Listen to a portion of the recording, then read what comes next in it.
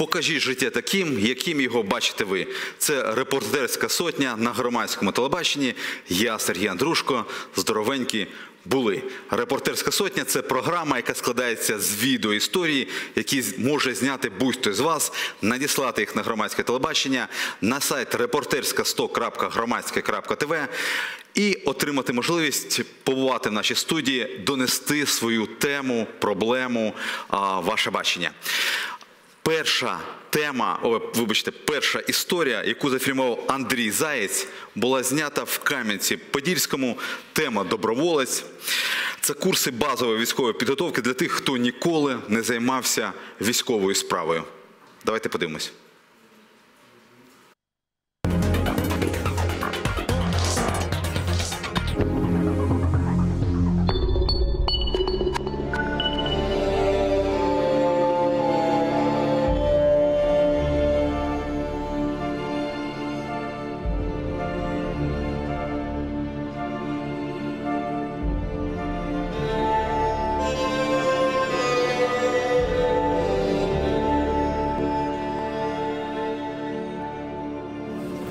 Доброго дня, мене звати Андрій, е, комендант е, даного легіону у нас, е, січових стрільців. Сьогодні провели тренування, вишків. Легіон Подільські січові стрільці е, створюється е, як е, територіальна оборона, основний напрямок. Е, Багато з наших е, людей, які проходять нас вишколи, е, дійсно будуть відправлятися на схід і працювати вже в складі певних підрозділів, яким будуть потрібні якісь специфічні знання. Деякі з цих людей це дійсно буде основа по принципу резервістської армії, якщо, не дай Бог, виявиться така необхідність. Всі ми знаємо, недалеко від нас знаходиться Придністров'я. Е, В будь-якому випадку е, люди повинні бути в стані захистити свою землю. Тому на рівні курсу молодого е, бійця фактично кожна людина, яка в стані тримати зброю, повинна пройти основи медицини, основи тактичної підготовки, рукопашного бою. Ми відроджуємо зараз традиції січових стрільців. Не дарма Кам'янець-Подільський в 19 році був колискою військової справи і, в принципі, столицею України під головуванням Грушевського. Е, Зараз, е, на жаль, дуже нелегкі часи. І кожен свідомий громадянин, чоловік то чи жінка має знати елементарні тренувальні вправи по тактиці, по вибуховій справі, по медичній справі, е, по рукопашному бою і бути готовим до цього. В нас е, досить кваліфіковані інструктори з бойовим е, досвідом. Е, Більшість інструкторів пройшли іменно саме АТО на даний момент. Я, наприклад, інструктую по такому напрямку, як малі штурмові групи. Здалось би допомогти цим патріотам, які дійсно хочуть навчити да, людей, тому що вони намагаються там власним коштом матеріально-технічну базу забезпечити, але Важливо розуміти кожному громадянину е, своєї держави, що власне е, являється бути громадянином. Ми тут воюємо не за якісь політичні блоки. Ми захищаємо свій будинок, своїх дітей, своїх коханих. Е, тому будь-яка людина, яка приходить сюди, це просто захисник своєї вітчизни. Хотілося б сказати, за- запрошую всіх бажаючих пройти вишкіл на нашому полігоні. Передається перевага добровольцям, хто реально вже готовий воювати зараз. І взагалі тренуватися Я закликаю всіх приєднатися до наших вишколів. Ми чекаємо вас всіх у нас на базі. от, тому це дуже корисна справа. І я, наприклад, мені подобається і багатьом. Зразу так прийшли працівники скептично до цього ставилися, але зараз от нема таких, що десь відійшли в сторону і там ховаються за спини. Всім цікаво. Ну, в житті все може бути. Може бути агресія, треба бути готовим. Поки е, призвуть, поки попадуть там хтось на збори, то вже треба якісь елементарні поняття. Пользуюсь е, таким е, випадком, да, новорічним привітанням. І хочу привітати е, не тільки вас, кам'янчани, але і наших побратимів, хлопців, які зараз є на передовій. Е, Ми дуже сподіваємося, що всі повернуться живими, здоровими. І все це робиться для вас. Ми чекаємо вас, ми чекаємо перемоги. І що ще хочу вам сказати? Миру нам усім. Поки, значить, в них не все тут все є, але я надію, що з часом міська влада, всі волонтери допоможуть, і я закликаю всіх, кого є можливість, допомагати лю- людям і приходити і вчитися. Якщо город буде, скажімо так, буде агресія більш конкретна, прийдеться більш війна повномасштабна, тому ми всі маємо готуватися. Є простий, е, проста поговорка, якщо ми хочемо миру, ми всі маємо готуватися до війни.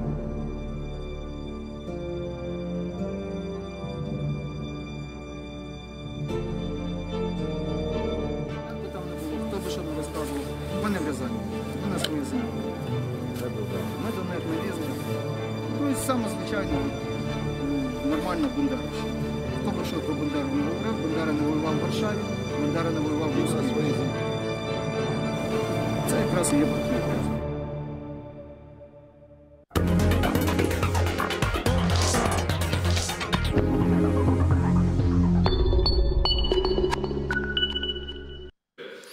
Відео ви щойно побачили з Кам'янця-Подільського, де готуються до оборони міста. Зараз ми поспілкуємося з Миколою Білером.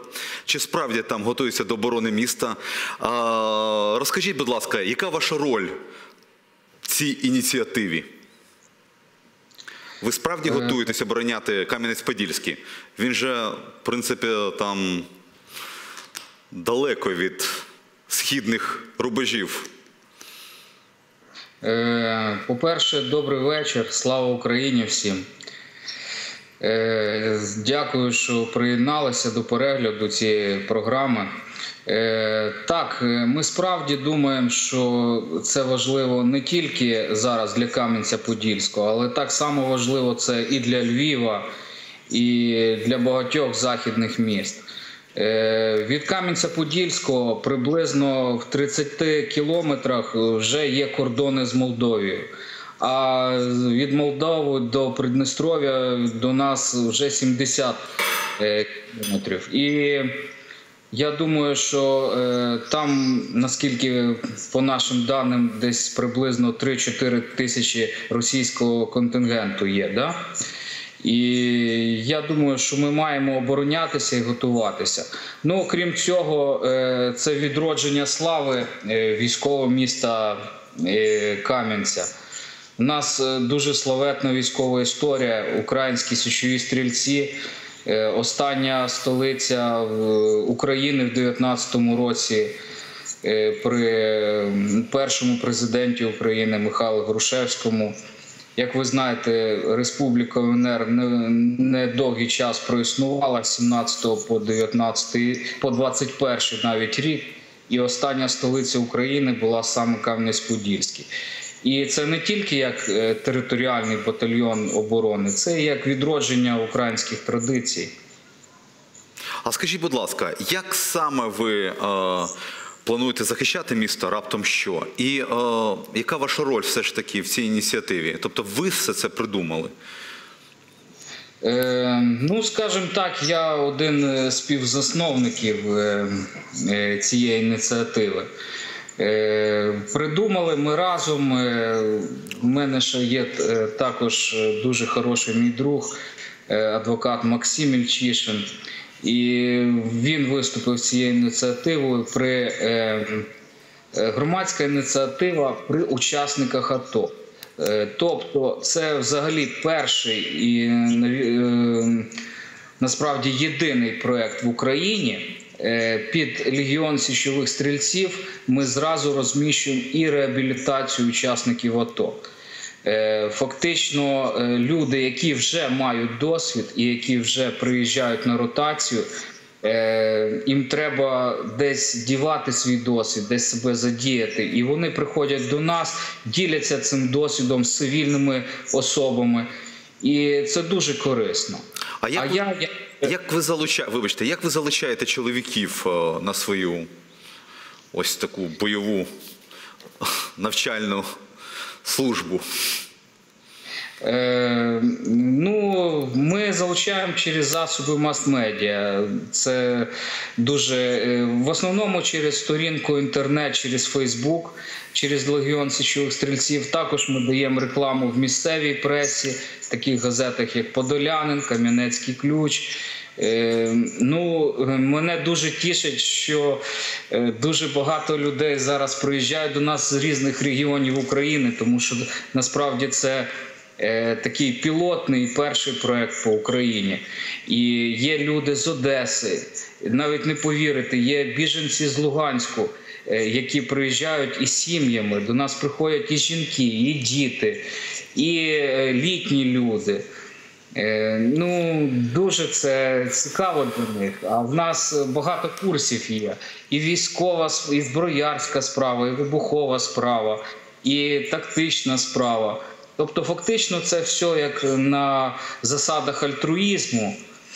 Ну, я думаю, що Легіон буде жити, і я хочу, щоб в кожному місті України було по кожному такому легіону. Дякую дуже вам. І останнє запитання. А як ви, от люди, які пройшли ваші курси, що далі? Що після цих курсів? Що вони роблять? Чим займаються? Якось вони використовують отримані знання? Е, Значить, дивіться, е, в нас немає ніяких е, політичних таких приналежностей. Ми нікого не агітуємо нікуди. Люди використовують свій досвід.